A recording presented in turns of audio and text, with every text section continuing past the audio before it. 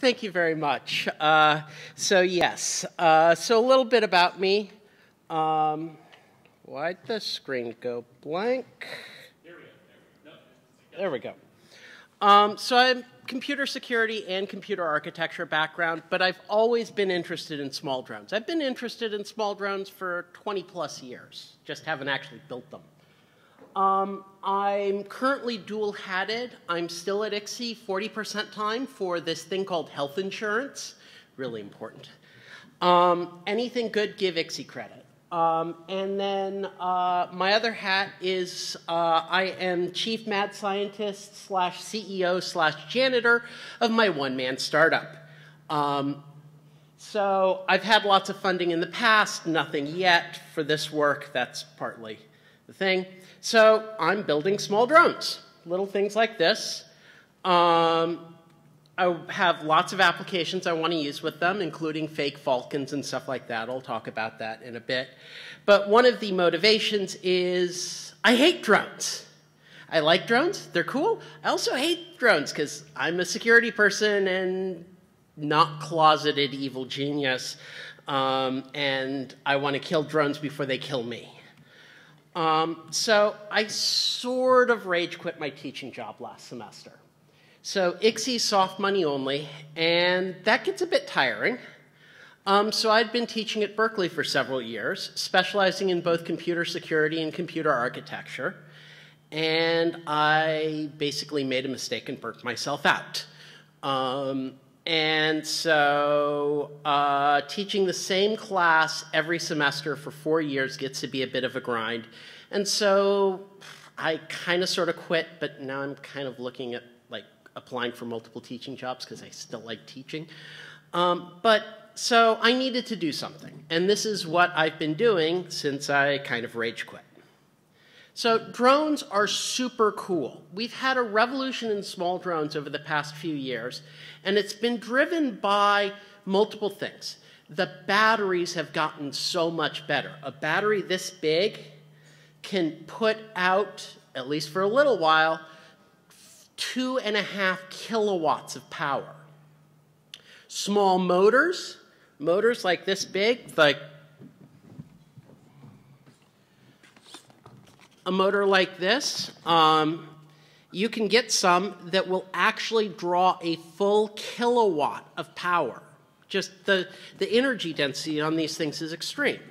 But also, we've seen a revolution in what are called MEMS devices, little microelectronics that do things like six axis gyroscopes. So, three axis gyroscope, three axis accelerometer in a little chip the size of a grain of rice um, and that's what's needed to be able to make them hover. So that's how the quadcopters hover. Um, fixed wing designs, things like this, um, are actually much older. We've had, um, when I was a kid, so 35, 40 years ago, I remember going to Miles Square Park in, um, in Garden Grove to watch people taking model aircrafts and doing pylon racing with them. Um, previously, they were mostly uh, in, made with gasoline motors. These days, a lot of them are electric. Um, and there's this huge proliferation of options. But also, they're bleeping terrifying. So, like this lovely little thing, this looks like a perfectly ordinary quadcopter. This is made by a Turkish company. Um, said little quadcopter, that white thing on the front, Think of that as a claymore mine, something that can kill people for about a 100 meter radius.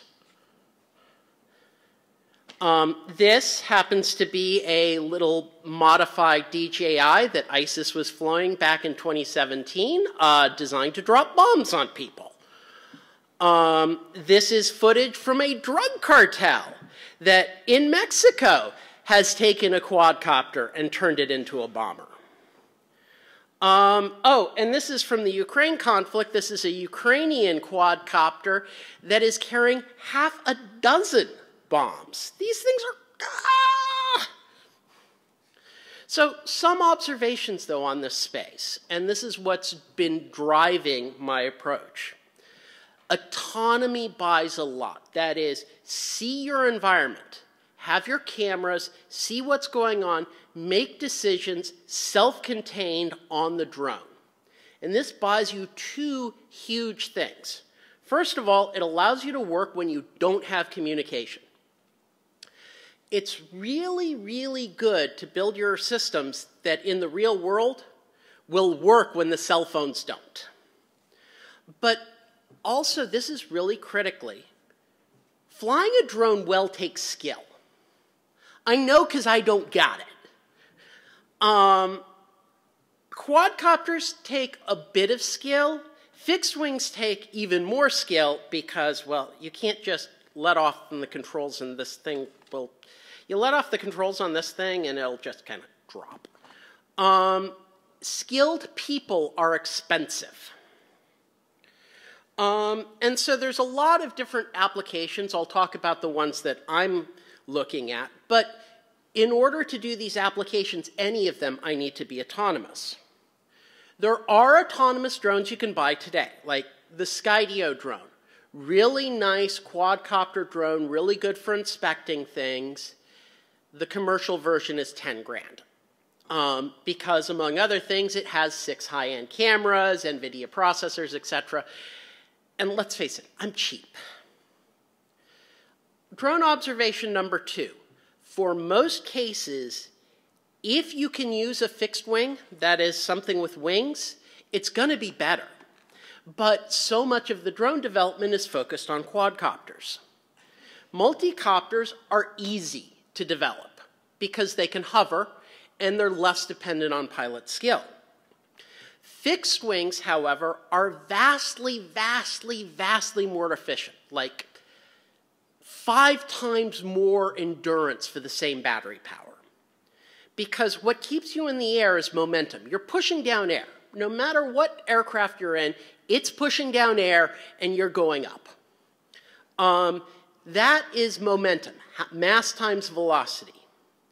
But the energy it takes is one half mv squared. You are much more efficient pushing a lot of air down slowly than a little air down quickly. And if you look at a quadcopter, something like this is going to be pushing a lot of air down quickly. Something like this is going to be pushing a lot more air down a lot less quickly and therefore be a lot more efficient. And so fixed wings, when they're appropriate, are so much better. Observation number three in the drones. The hobby field is the coolest stuff. You actually have three distinct and not very overlapping development branches. You've got the military, which are optimized for high reliability. The military wants systems that actually work. Um, and they're also really good at extracting government money. So a low-cost military drone is 10 grand. The industrial and prosumer, which is dominated by DJI, by the way, DJI makes great drones as long as you don't mind the Chinese government knowing where you fly them, um, are really good. They're optimized for endurance and ease of use, and the low cost ones of real capability are often a thousand or more. And then we have the hobby field, the race drones. These things are super cool. They're optimized for two things optimized for performance, like literally a drone like this can reach 100 miles an hour like that and will be able to accelerate at nine times the force of gravity. Um, and they're like 250 bucks is a moderately priced one. There's a lot cheaper. And they're also optimized for crashability, which is really important when you're good at crashing them. Um, observation number four human safety matters. And this is something that the drone field is just starting to grapple with because the FAA has finally announced standards for what human safety actually means. And there's basically four categories. Category one is the drone shall not have a laceration hazard. So this uh, whirling blenders of death here that go on here, you have to shield them. Um, and also weighing less than 250 grams. So about that of a baseball. Category two is low, no laceration hazard, and low impact damage. They actually have a crash test of a human form that you shove a drone into, and it must impart less kinetic energy than a reference uh, lump of metal. Um, category three is the same thing with a little bit more. And category four is get a formal airworthiness certificate, aka the same paperwork you need to build to build a commercial aircraft, like a Piper Cub or something. Um, quadcopters, to try to do category two and three, just give up. They're not going to work because, first of all, you have the whirling blender of death problem. Um, but also, if I drop this thing from, say, 50 feet in the air on your head, you're dead. I drop this thing from 50 feet in the air on your head, you're pissed. Because fixed wings are so much easier. Because, first of all, lose power, this thing wants to go straight um, if it loses engine power. But also, this thing is literally every front of impact surface on something like this is polypropylene foam, the same stuff you make out of car blenders, or I mean car bumpers. Um, you could make it out of literally styrofoam, and so if it hits things, it literally crashes into a gazillion pieces and just pisses you off. Observation number five janky is good. Remove nines from reliability, you remove zeros from the cost. Um, solving the 99.999% reliability problem for autonomous operations is very, very, very hard. You need expensive computing platforms, half a dozen of cameras, good software development, lots of developers, etc., etc. But if you only want to solve the 99% problem, it's so much easier. I don't want to build good software. Good software takes effort and time and skill. But if I want to get away with janky, I need two things. I need crashing to be okay. So I need to design things super inexpensive so that if it crashes, I just go, huh, oh well. Um, and also human safe so that if it crashes into me, I go, bleep, bleep, bleep, bleep, bleep, not uh, say Siri dial 911. Um, and so this changes how you think about building your chassis. Observation number six, the Raspberry Pi is one of the most revolutionary projects that has come out in the past decade. Because this thing has a huge ecology, it's a very robust, open 64-bit ARM, um, and basically, it's equivalent to a good mid-range desktop computer, and critically, it has a really good camera ecology. You can get really nice cameras for the thing. Um, one of the other things is the Raspberry Pi is actually optimized for two markets, education and industry. And the reason why you can't buy a Raspberry Pi right now is because they're still producing 300,000 or so a month and they're all going into industrial products that you never see. And they introduced about two, three years ago this little project product called the Raspberry Pi Compute Module. Let's see, I've got one in here. This is a Raspberry Pi 4 with the I.O. cut off. You've got what's known as a system on a module. So you have your Wi-Fi, you have your processor, you have your memory, you have your flash if you want. Um, you have the entire Raspberry Pi ecosystem, and you have a little connector on the back that you just design your board to fit into. This thing really is a game changer. It's, it's, I love these things. Number seven, Banggood is your friend. So Banggood, AliExpress, these companies are like Amazon Marketplace. So Amazon Marketplace has a problem. It has questionable inventory mixed in with the good inventory, and it's impossible to tell the difference. Banggood is better. It doesn't bother with the good inventory. It's all the questionable inventory, so you know exactly what you're getting. Um, because the deliciously questionable inventory is, is exactly what you want when you want the cheap stuff.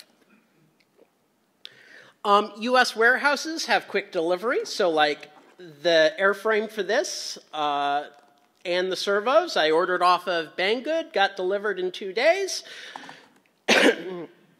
the Chinese warehouse, slow boat.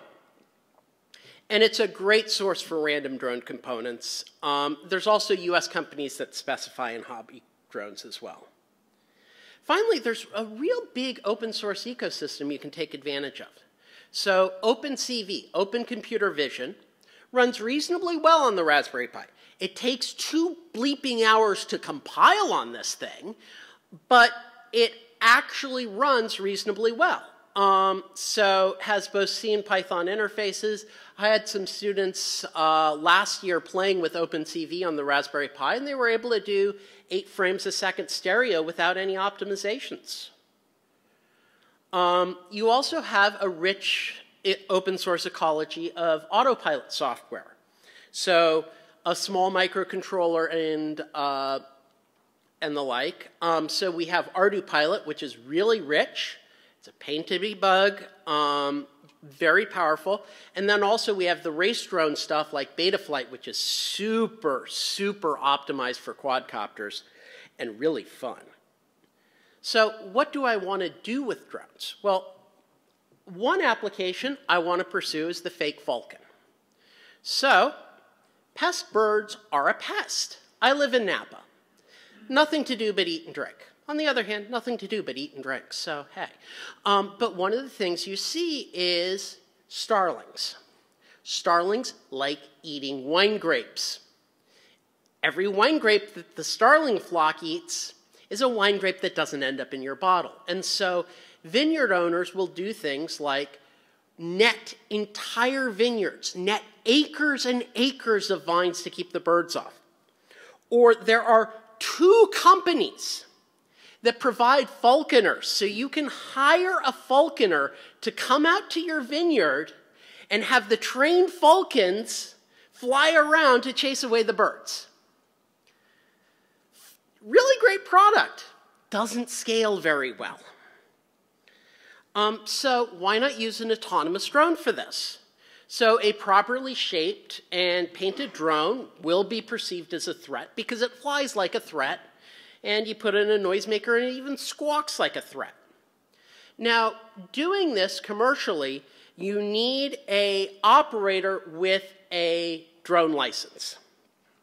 Now, the FAA drone license, it's a little card that looks like this and basically says you can take a multiple choice test on how to read air charts and the like which is completely irrelevant because when you're actually using a drone, you just open up the FAA's app and see where you are.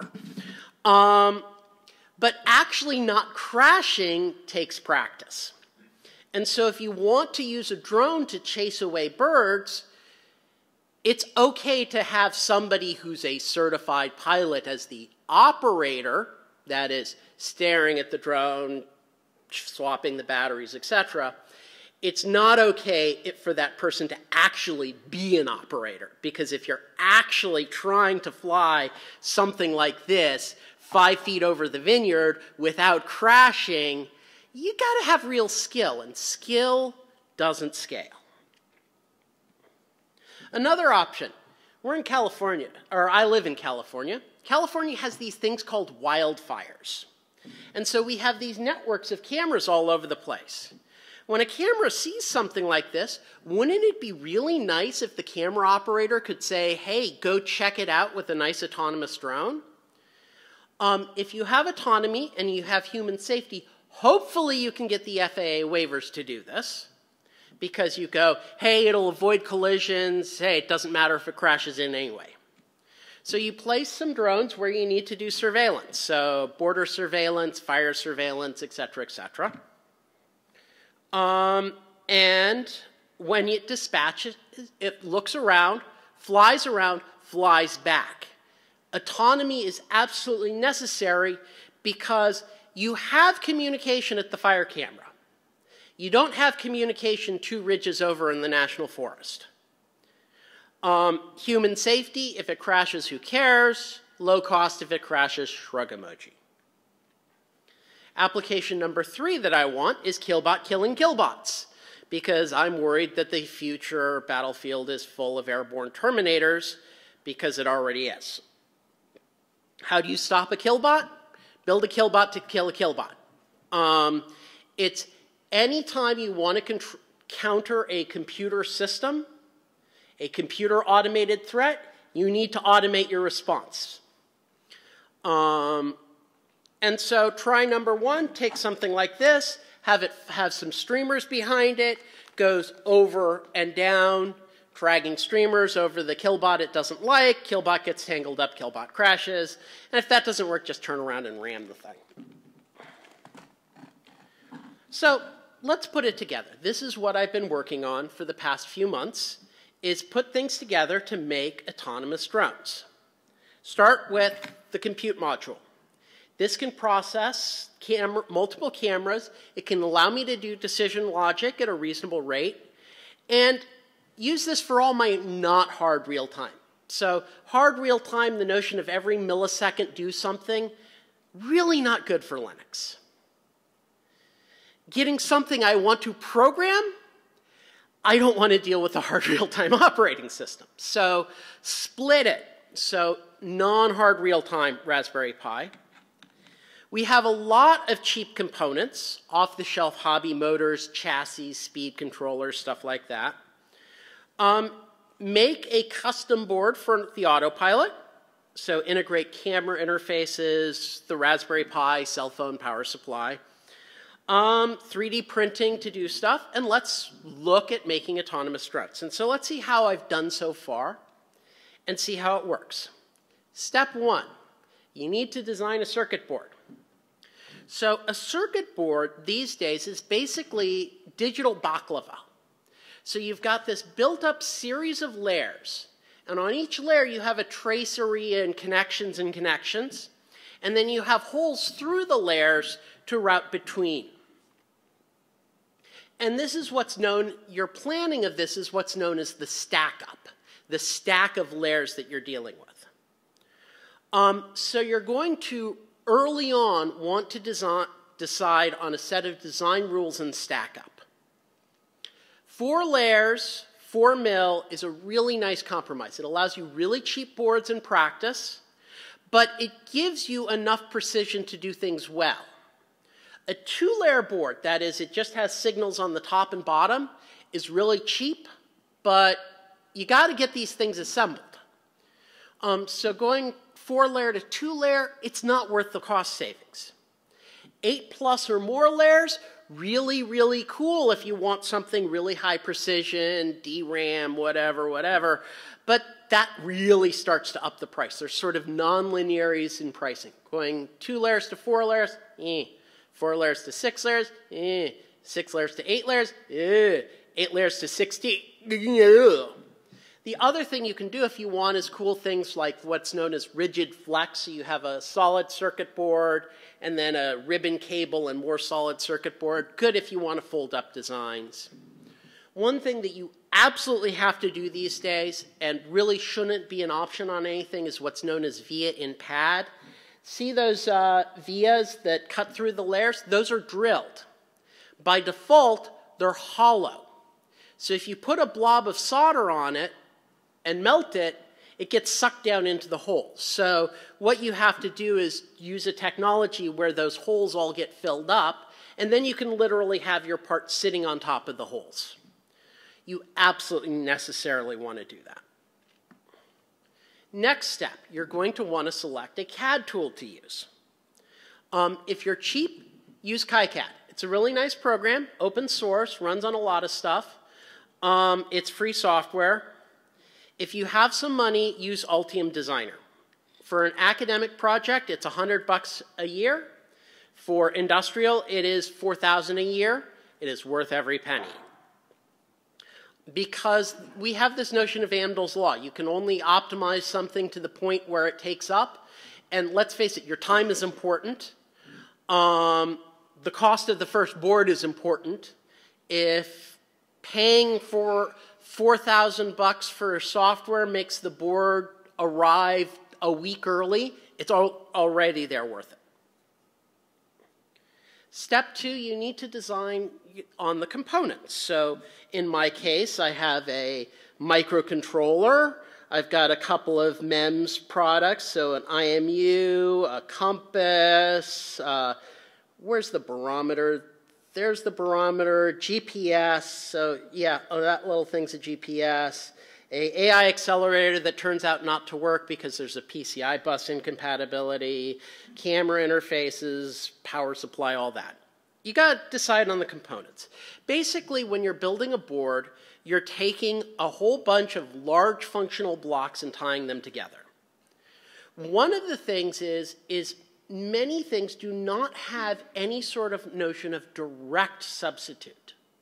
There's other components that will do the same functionality, give or take, from different vendors, but they're subtly different. They lay out different. They're different shape, different interface.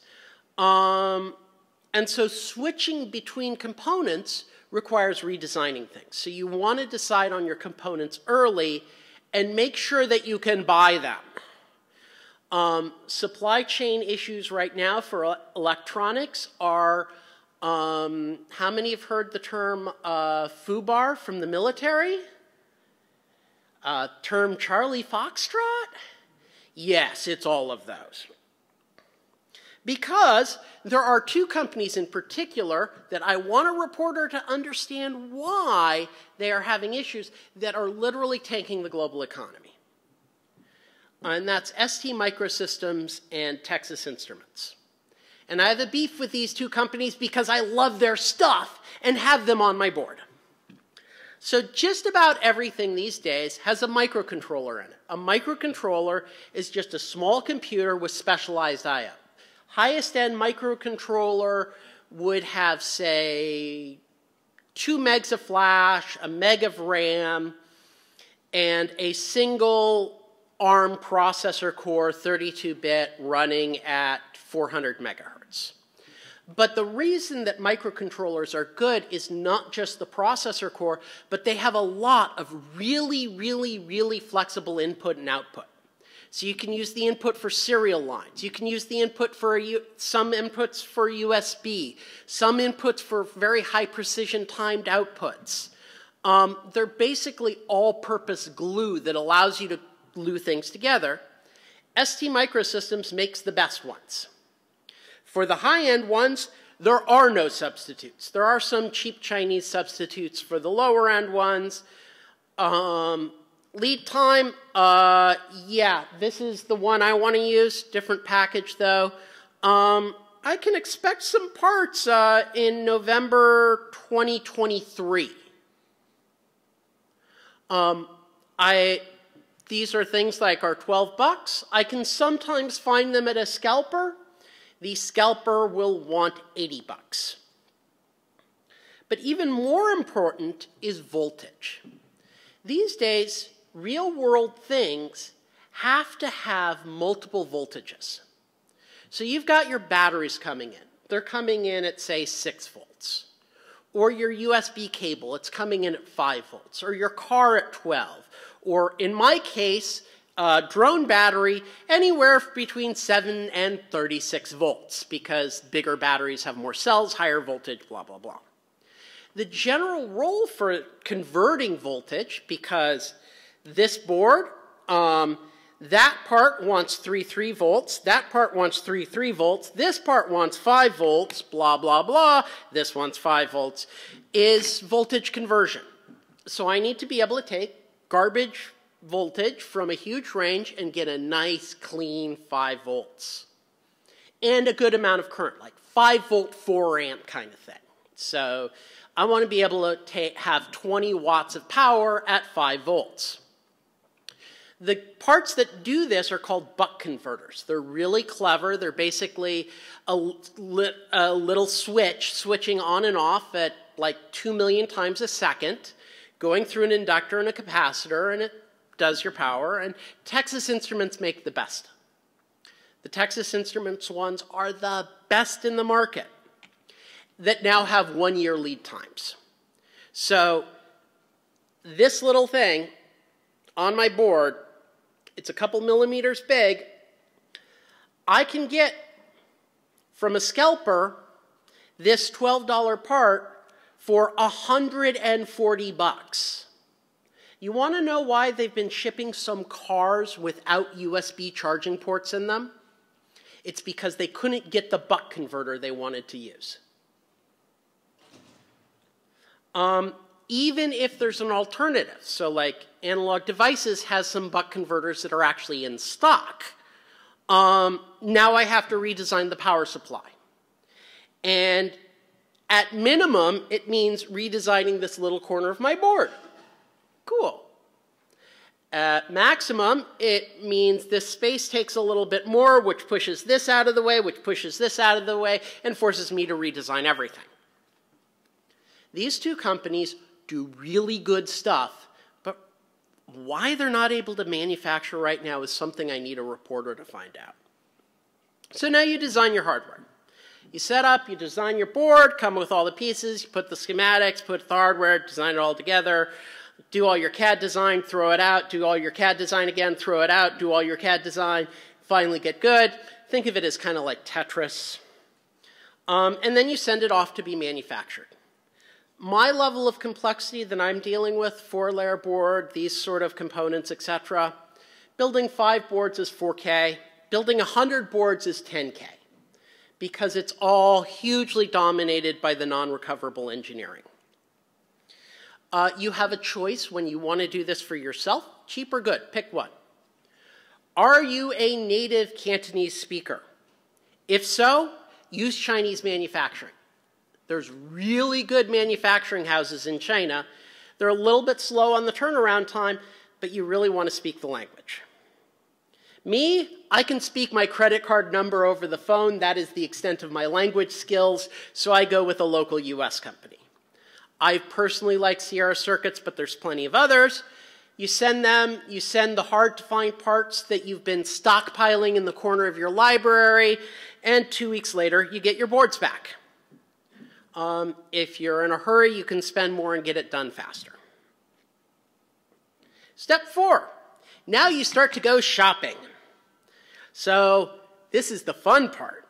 So here for this thing, I bought an off-the-shelf race drone chassis, off-the-shelf race drone motors, under here off-the-shelf race drone thing. I've got a, a, a uh, remote receiver, stuff like that.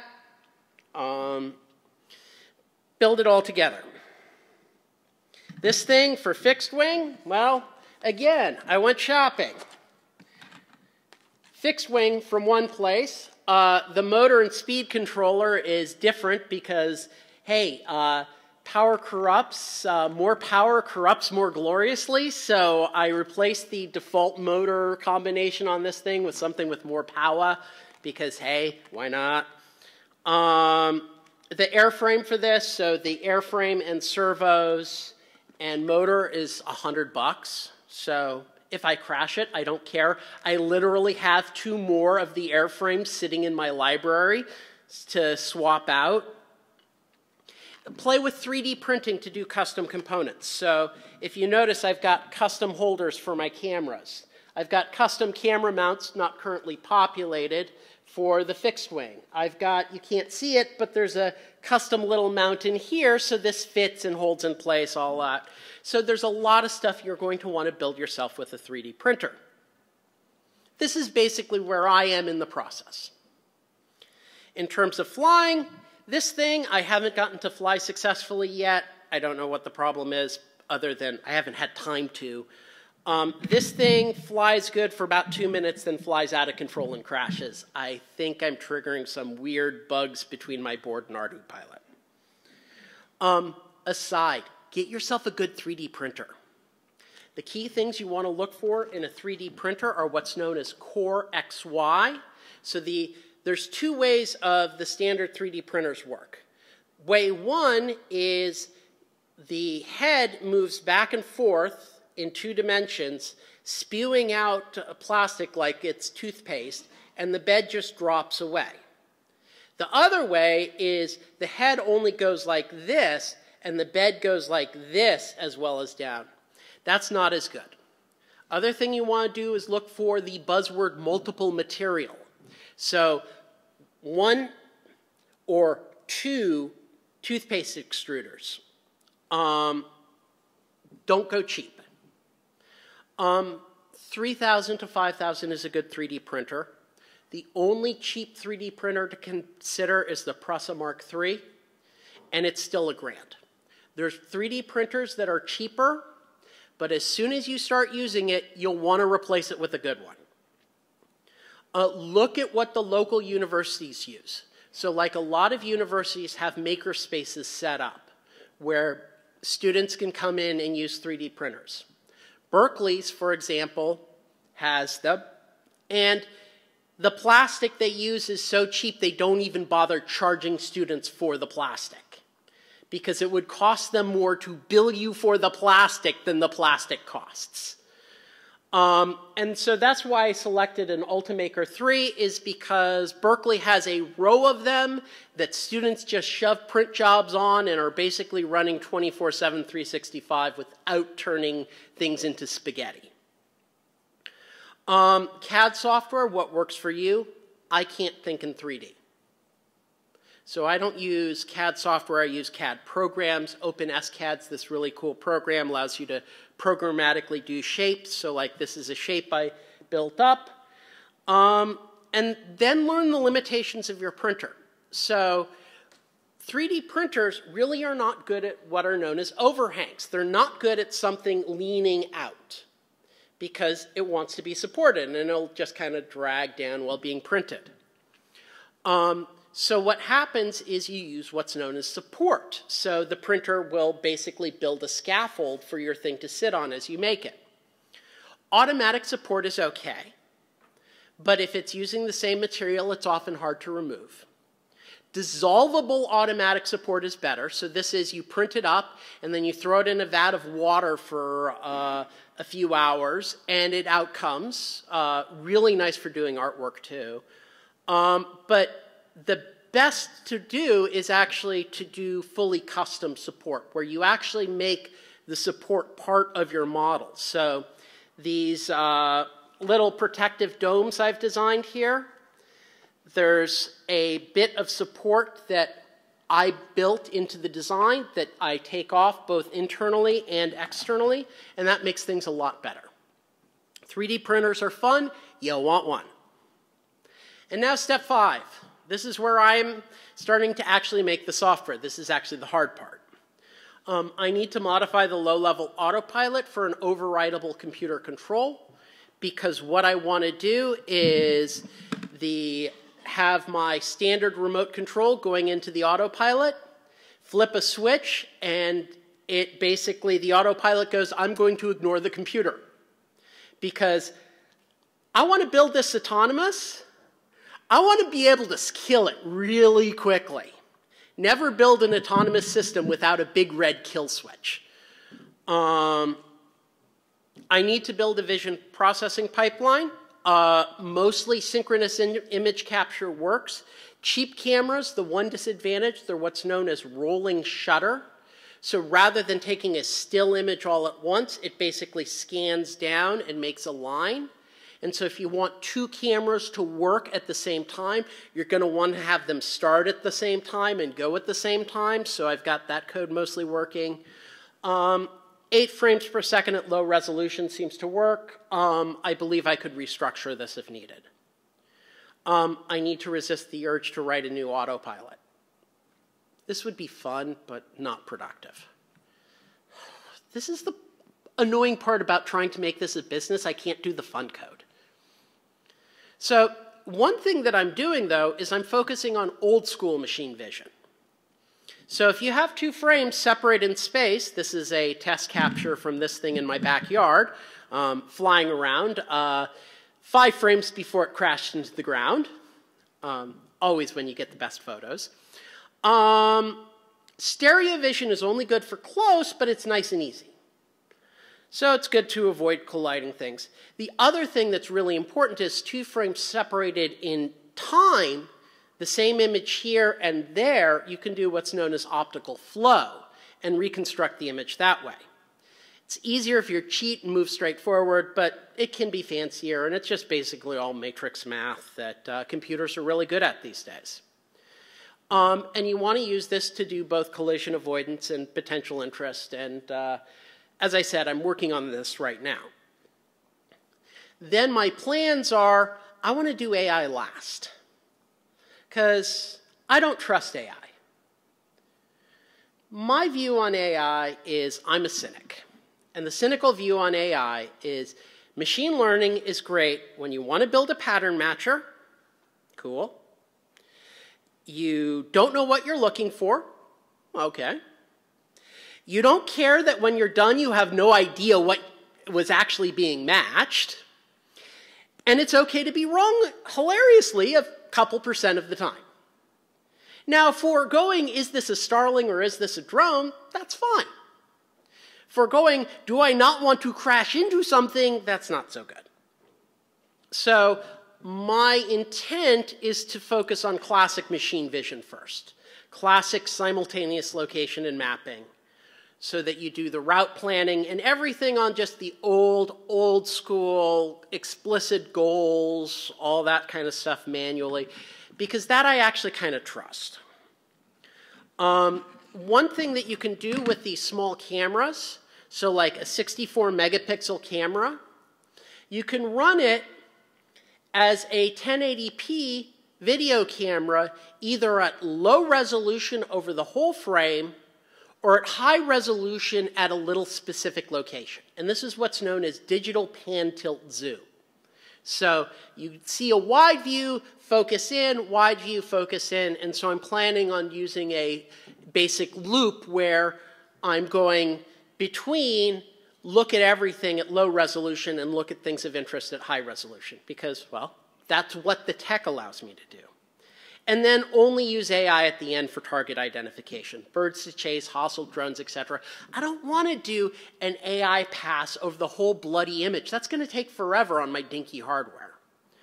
Um, but it's much easier to go, oh, that's something out in the air is this something I want to care about? It's a much smaller problem.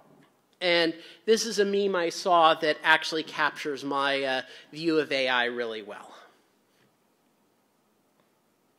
Uh, so, profit. Um, I have a feeling I may have done the underpants gnome problem. Um, so far, I'm 0 and 3 on getting research grants. So, the federal government has the SBIR program, for small businesses to get research funding. The good aspect, no dilution, just money. The bad aspect, they're fairly competitive. You have to wait months. Uh, for the NSF SBIR, you actually have to use Fastlane yourself to file the grant. You will gain great appreciation as an academic for your grant proposal people when you file the grants yourself. Um, you have to navigate sam.gov, which is the login process is good, but the site crashes after a few instances. Um, I've got one more to write in the pipeline. So I have a feeling I may have to put on the suit and tie and go the VC route. Um, truth be told, this does offer several advantages. Um, among other things, a little bit bigger team. Um, and at this point, I, I may not be flying, but I know enough to know it will work. And that, I think, is really important. Um, Long term profit, don't sell drones. I want cheap drones. I want really cheap, really autonomous drones. I don't actually want to sell them. And the reason why is skilled pilots are more money than the drone, even. Getting the license is easy, it's a multiple choice test. Gaining the skills to not repeatedly crash a fixed wing drone is hard. That's the real advantage of autonomy is getting able to use low skill operators. So you sell services where you charge as a skilled pilot, but you don't need a skilled pilot, and that's how you make your money. So like the bird abatement, you charge 20 to 40% less than what the falconers do. Your costs are way, way less than the falconers, so you profit. For the surveillance, you get the FAA waivers so that the customer doesn't have to. The FAA waiver for non line of sight operation is a real big deal. It's a real pain. You don't want to sell a drone to 100 customers and tell the 100 customers they all have to go through that painful process. Instead, what you want to do is say, hey, 100 customers, we're going to offer this service to you. You can't do this in house because it's so much of a pain in the bleep, but we've amortized the cost of it over 100 customers. Um, counter drone, that you sell, but you jack up the price because you take your hobby grade stuff, sell it at military grade prices. Um, mistakes, I've done them, lots of them. They've been fun. Um, I was in a hurry to incorporate to submit SBIRs, so I incorporated myself in California. Don't. If you're ever starting a business, pay the money and incorporate in Delaware. Um, as soon as I start having to seek VC money, I'm going to reincorporate into Delaware. Um, Delaware has the best judicial system for dealing with business issues. Um, that alone is worth the extra few hundred bucks for a lawyer and the extra few hundred bucks a year. Never incorporate anywhere else. Design bugs, I've done, done them. Um, if I uh, look at my informal errata sheet, there's a lot. Um, Magic Smoke. Um, we know that this computer runs on Magic Smoke because when the Magic Smoke escapes, it no longer seems to run. Um, I fried more than a couple boards. The most spectacular one was when I hooked up the 16 volt power supply backwards. And it didn't just fry the board, but fried the speed controller and put so much current through the signal wire of the speed controller that it melted the wires in two seconds and filled my library with a rank stinking smoke for a week. Um,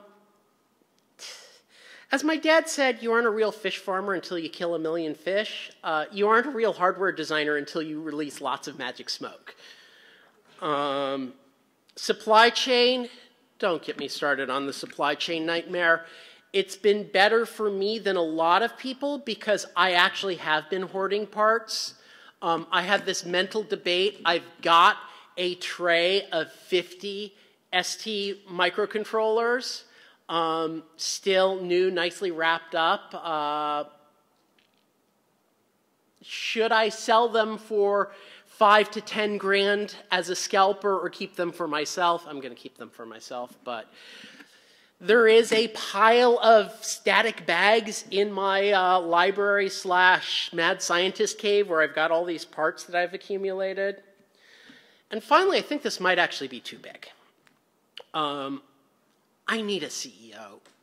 I need a couple more programmers. Um, and truth be told, ArduPilot is nice ish, but it's weird. There's like weird things that happen when you're dealing with a multi million line open source thing that has a gazillion different options and tuning options and everything else. And uh, so, partially why I want a team is so that I can rewrite an autopilot. But it's been fun so far. Um, I may not have the profit yet but this is really fun. It's also scary. This little thing scares the hell out of me because, well, this is the type of thing that in Ukraine you already have people putting grenades in just under manual control. Um, there's a reason why I call my company Skerry Technologies. As skerry is a small, rocky, uninhabited island, um, but the pun is deliberate. Um, we are, however, in an age of miracles. You too, if you want, can design real hardware and real integrated systems at not that much cost. This is, this is above hobby cost, but not that much above hobby cost. If your hobby is a jet ski, this is hobby cost. Um, 10 year old capable computers, and let's face it, how many 10 years ago complained that their computer was really too slow? No, not until you were doing some big crunch. Something as capable as a 10 year old desktop is a $35 card that fits in whatever system you want. You have really nice outsourced services these days. So, my previous prototype quad, which I replaced because the frame was a little too flexy, I actually did a whole custom frame. I did a whole custom frame design in 3 millimeter, 4 millimeter carbon fiber. Did the design, catted it up, did a couple of test prints to make sure everything fit together. Sent it off. Three days later, and a bank account 30 bucks later, I get my custom cut 3D or my custom cut carbon fiber frame. If I want to do an aluminum chassis for some custom board, well, that outfit, um, let's see, um, eh, Quantity one is going to be 30 bucks, complete with cutting, tapping, and bending. We are in an era of miracles on the outsourcing. When I, if I want to design my own airframe out of styrofoam, well, there's a company down in Huntington Beach, uh, right down from my parents' house. I'd use, I'd use them as an excuse to visit and see their tech. They can do one-offs with uh, CNC cutting, so you just basically toss them a design, they cut it, and you want more, they'll injection mold, or they'll mold it for you. So if you want 10,000 styrofoam widgets, it's just a matter of finding the right maker. Um, but I do miss teaching. But it's been fun. So questions, comments, rants? I've got my toys.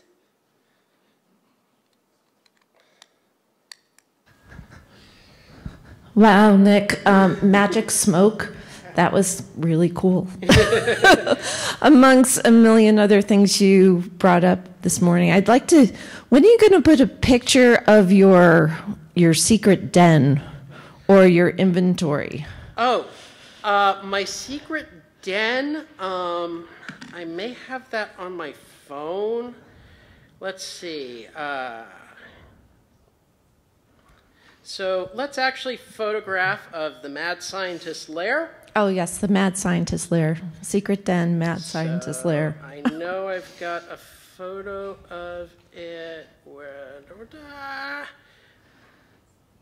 If you feel so inclined to share that on Slack with I will share folks. that on Slack in the future. I've got a photo of my wine cellar, but that's not what I want. we can take that too. Oh, here we go. Let's see. Now, one of the nice things is I have my adapter dongle for the phone. I no, no. Ah, yes. Woo. of course he does, right? Joys of teaching. Uh, this thing is my backup device. Let's see, is it going to go? Can you guys see it back there? Yeah, cool. So this is indeed my oh mad my scientist gosh. lair. So I've got my complete with stuffed animals. My workstation here. Um, over on the left-hand side, you can see the 3D printer. I've got a hardware debugging station with its own little dedicated computer and a wall-mounted monitor. There, of course, you see a lot of the drone toys. Um, there, of course, you see a lot more of the drone toys. Um, and then the other side of the room, we have the background for the Zoom cave, complete with lots of Legos and and and I think I saw a Star Wars figure on the left. Lots of Legos, lots of Legos, lots of Legos, and the plushy coronavirus. I didn't know there was such a thing. All right. Um, wow. Thank you for sharing. Okay, guys, questions.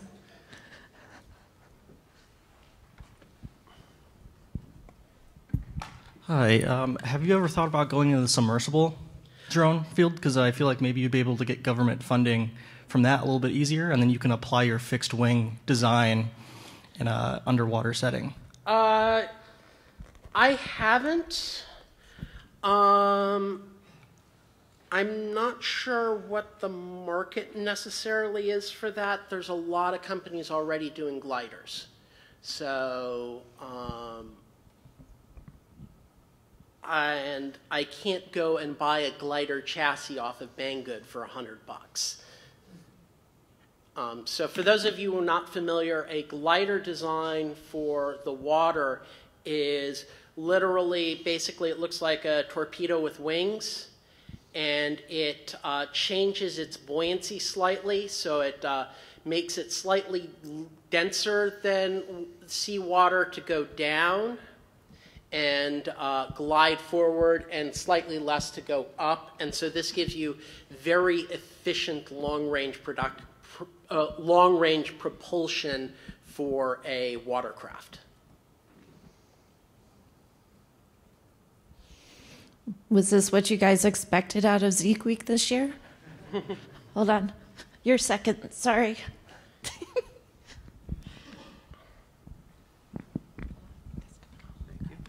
Uh, are the microcontrollers ubiquitous enough that at a 10x markup you could go to a junkyard with some snips and just fill your pockets?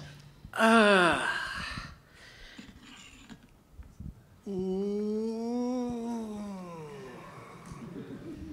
The problem is is part substitution.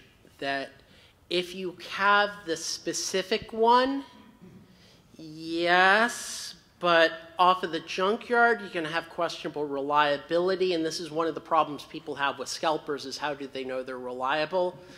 A hack that I know some people have used during art uh, during development is buy half a dozen development boards for the microcontroller, unsolder that, and solder that onto their board. Um, the, the problem is is substitution, that you you don't just want a microcontroller, you want a STM32H743VIHW.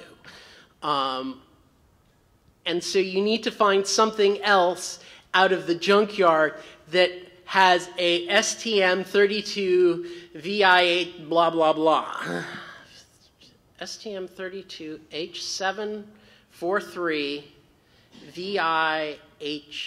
H743 So trans translate it into English, STM, ST Microsystems, 32, their 32-bit microcontroller family, the H series, which is the highest processor, 732 is the memory size and the flash size, and whether or not it has the cryptographic accelerator. VIHW is the package that is the 100 pin BGA package that's this big in commercial grade rather than automotive grade. Although I'll take automotive grade stuff, it's better, it's just more expensive, but it can't be found either. but I'm ranting. I think you hit a button.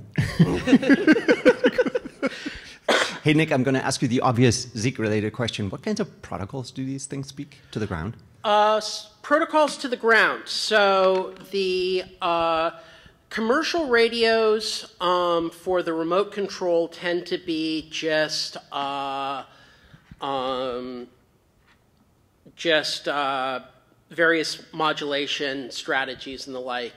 For uh, the autopilot, the primary protocol is called MAVLink, and it's a fairly simple bog standard serial protocol.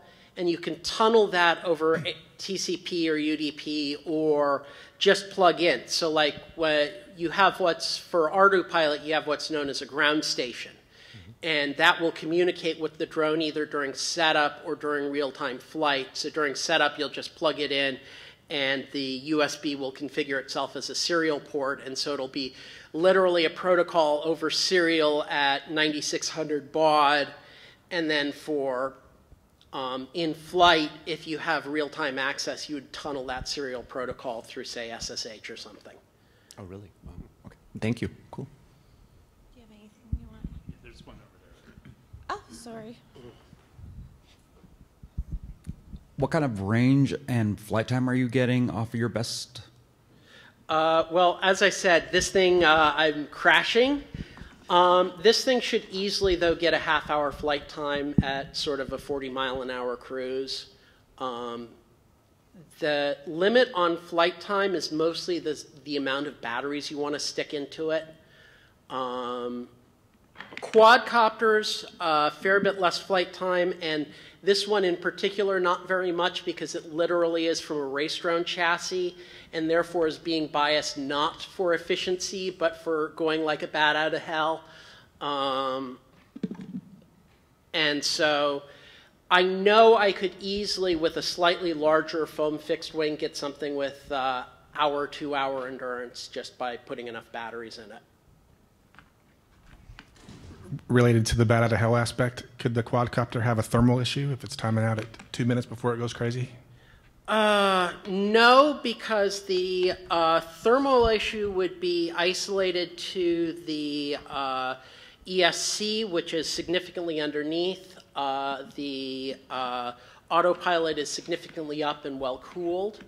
Um, what I suspect is happening is I'm triggering some sort of bug in ArduPilot based on my wacky board configuration because I've got a compass and a IMU configured, but if you just plug in the board and let it sit, it thinks it's drifting um, rotation, and you shouldn't have a rotational drift if you're using the compass as well.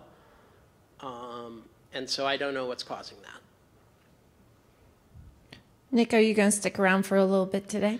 Uh, I'm going to go pack my bags, go pick up my charger, which I left at the uh, public policy school, and then I'll be back here. Okay. Oh, sure. So um, thank you for that very uh, entertaining sketch of uh, that world of cheap drones. I'm wondering about circling back to the killbots. What you picture is going to be the evolution of the lethal drones, given how you can construct these things so cheaply. Uh, I think we are five years away or less from large quantity, low cost lethal drones, mostly in a defensive posture. So, um, and I think probably the biggest driver is going to be Taiwan. So, Taiwan pre building a killbot insurgency to say, hey, China, if you want to invade, there are 200,000 fully autonomous small killbots waiting for your soldiers. Um, and how could that not go wrong? Oh, it will go wrong. It will go horribly wrong. It's just that's the inevitable evolution because right now the small drones, small cheap drones are being used under manual control and being countered with jamming. And the way you counter that countermeasure is autonomy. Um, and oh, I think it will go horribly wrong. It's horribly scary. It's horribly frightening. Um, but I think it's inevitable just from the utilitarian perspective of you have the problem of you say have a $100 million a year military budget and you want to make it so Russia, China, or the US couldn't invade you.